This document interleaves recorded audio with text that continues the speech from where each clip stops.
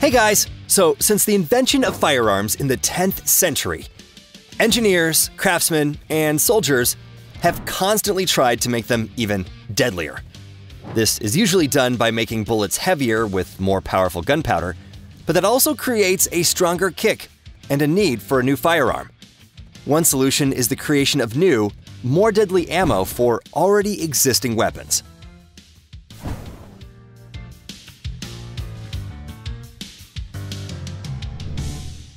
Dragon's Breath The Dragon's Breath rounds are considered one of the coolest and most exotic rounds for a shotgun. They are mostly made of pyrophoric materials and shards. When fired, while passing through the gun's barrel, the magnesium actively reacts with oxygen. The result is a plume of white fire which can turn a firearm into a flamethrower. The released flame resembles a furious dragon's fire breath. These bullets are pyrotechnic ones, and they burn at a temperature of 3000 degrees Fahrenheit, which is enough to wash your target in hellfire.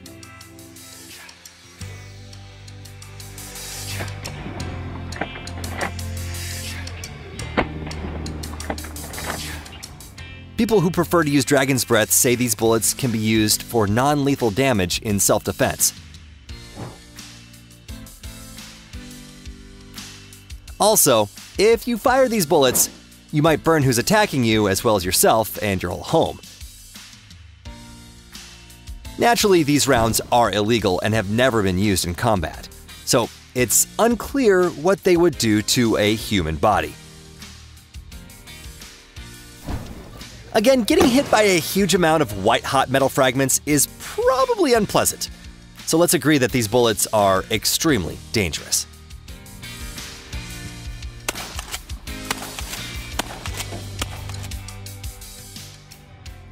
Soft point expanding bullets. Soft point expanding bullets have an expanding surface at the end of the bullet, which expands when it hits its target. One way or another, using these bullets caused protests by international organizations calling them inhumane and war crimes. And soon, in 1899, expanding bullets and deforming bullets were banned for military use at the Hague Convention of 1899. Amazingly, every country still follows this rule without fail, at least when it comes to what is officially allowed for ammunition. However, they can be used by police forces and people for self defense. Why were they banned? Because they can expand and break into tiny fragments inside the victim's body, increasing the damage massively. Also, normal bullets that are fully covered and rounded with a smooth surface penetrate their target without expanding. If a bullet doesn't slow down when it hits the target's body, it simply passes through. But these expanding bullets remain in the victim's body. As soon as they penetrate, they expand, slowing down and rarely perforating. And when they are taken out, they leave behind a huge hole in the body.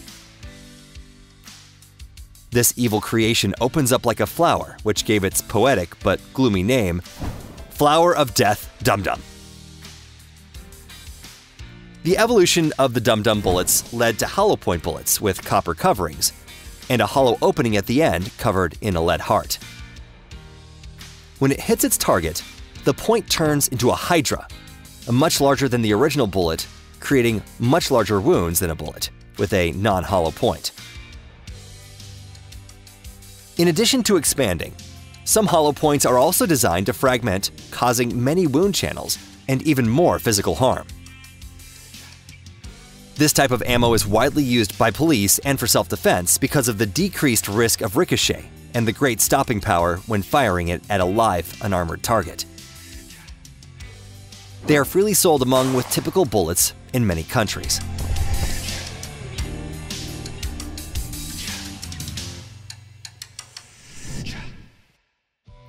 The 577 Tyrannosaur. The 577 Tyrannosaur isn't a dinosaur, but is just as deadly. It's a crazy powerful bullet made by the little known American company A Square in 1993 at the request of two professional guides in Zimbabwe who have the risky job of protecting people while on hunting trips. They needed bullets that could instantly stop an attacking animal like a water buffalo or elephant. The solution was a 94.2mm bullet weighing 49 grams. The bullet's caliber is 14.9 millimeters. The company's own Hannibal rifle is the only one that can fire these bullets. Keep in mind, firing it creates a massive kick that will seriously injure your shoulder. It's over 1.5 times as strong as the kick from a gun using an expanding bullet.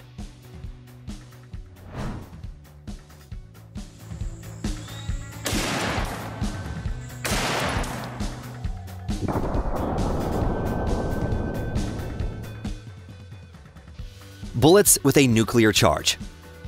It turns out bullets depleted uranium aren't a myth. In the 1970s, the US actually tested 7.62 millimeter low caliber bullets with a tip of depleted uranium weighing about 3.6 grams and with a muzzle velocity of over 2,000 miles per hour. However, unlike other bullets with similar tips, they didn't have a wide release. Uranium's high density makes it the perfect material for armor, armor-piercing rounds, and anti-tank rounds. Depleted uranium has very interesting properties. It has the highest level of self-sharpening out of all metals when passing through a sheet of armor. When passing through steel, the upper layers of the uranium take on the current properties and move backwards along the uranium's axis, letting it move further into deeper layers.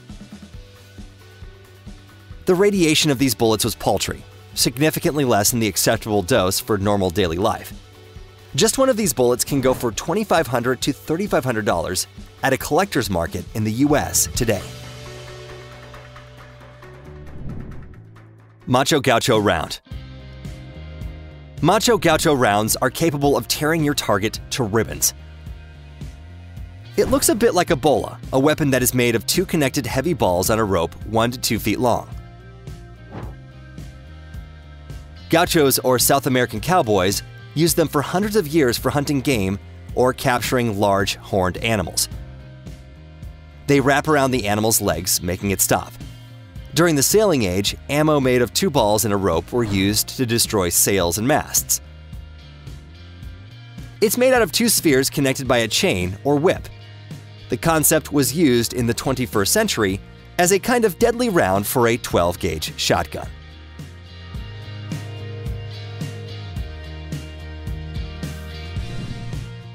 Jihawg ammo.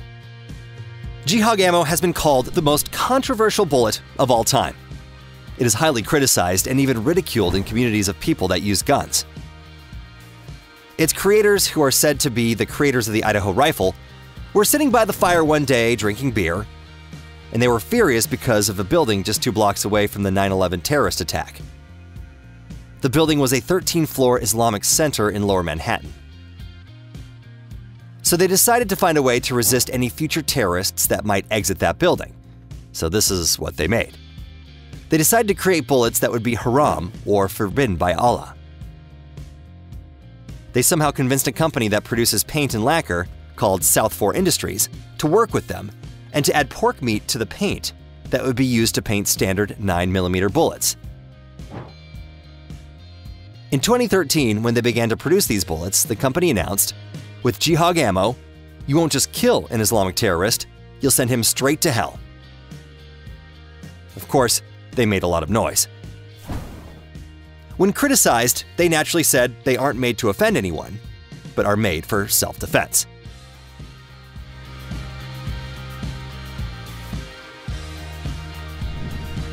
Bullets for duck guns.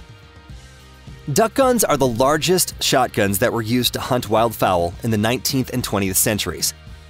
A typical duck gun is 72 feet long on average, had an opening with a diameter of 51 millimeters, and weighed 95 pounds. It was a huge weapon. In some old pictures, you'll find two men carrying the duck gun on their shoulders. They set them up on a small groove in a boat, and the hunter would need to maneuver the entire boat to aim the gun at a flock of birds. The barrel's large diameter let it shoot a 500 gram cartridge that could kill up to 90 birds per shot. This shotgun was created to appease the insatiable demand of feathers in the fashion industry. Naturally, after this weapon was released, the populations of wild birds suffered significantly, so the gun was declared illegal.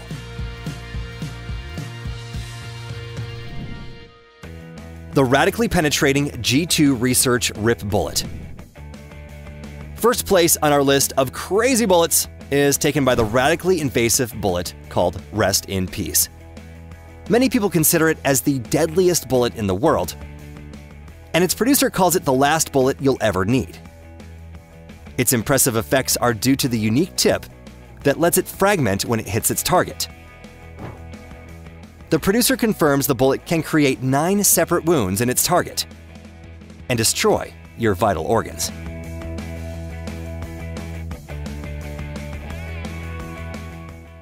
Well, that's all for today. Leave a like and comment, let me know which one of these bullets you think is the most deadly, and we'll see you again next time.